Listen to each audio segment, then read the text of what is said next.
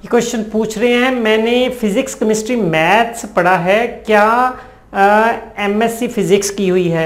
और क्या मैं पीजीटी के लिए एलिजिबल हो सकता हूँ अगर मैं मैथ साइंस का कॉम्बिनेशन रखता हूँ? ये इनकी क्वालिफिकेशन है। Physics chemistry maths PG physics में है। तो अगर ये पीजीटी के लिए आप एलिजिबल होना चाहते हो, हर हालत में आपको फ़िज़िकल साइंस ही लेनी पड़ेगी। फिर आप पीजीटी के लिए एलिजिबल होगे। अगर आप के कॉम्बिनेशन अच्छे हैं फिजिक्स और केमिस्ट्री को साथ मिलाकर आप साइंस ले लेते हो तो आप टीजीटी के लिए एलिजिबल बन रहे हो।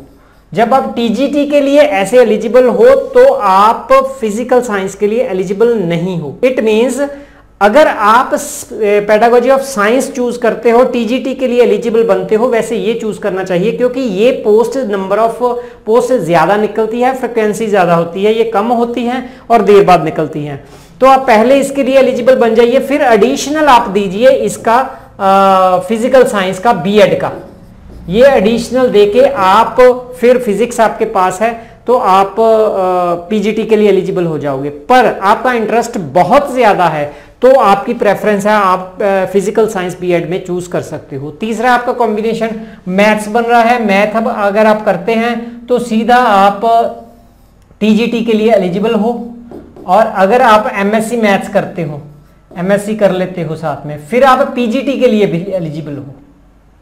मतलब मैथ्स के रिगार्डिंग कोई ऐसी प्रॉब्लम पीजीटी टीजीटी की नहीं है। मैथ्स की जस्ट मास्टर डिग्री आपके पास चाहिए। लेकिन साइंस में यस ये प्रॉब्लम है। आपको चूज़ करना होगा कि आपने टीजीटी की तरफ़ जाना है, एक चूज़ कर सकते हैं, या इसकी तरफ़ फ़िज़िकल साइंस की तरफ़।